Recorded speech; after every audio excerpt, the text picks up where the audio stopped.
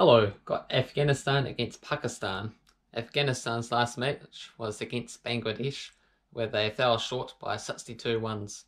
Got my tip of Mushfiqur Rahim to be the top one scorer correct for Bangladesh at $5.50 odds. Bangladesh batted first, lost Das and power play to be 44 for 1. Iqbal being the next to go.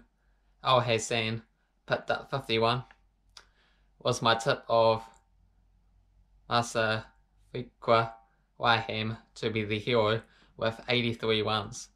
Bangladesh having 262 for 7 to hold on for Afghanistan's innings saw them survive a power play at 48 for none before the loss of Rahmat Shah. Afghanistan being restricted to very few runs under four and over, and the loss of two wickets in the 29th over with Nias and Nabi.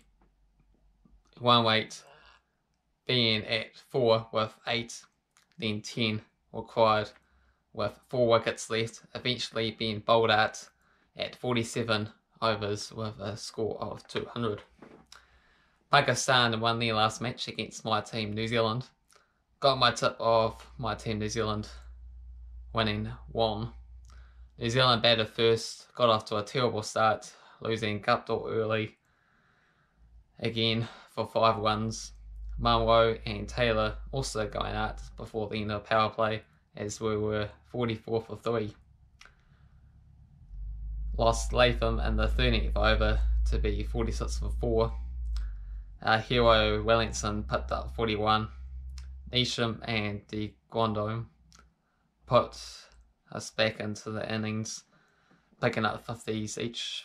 de Grandhomme getting 64 and Neesham got getting 97 to somehow get to a reasonable score of 237. Pakistan one chase included the loss of Zaman after the third over with 43 for 1 after 10.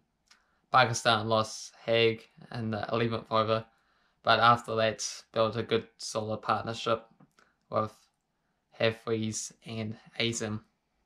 Hafeez got 32 runs, Sohail and Azam finishing off the battle for Pakistan 68 and 101 runs respectively, winning by 6 wickets even if it took them until the final over to do so.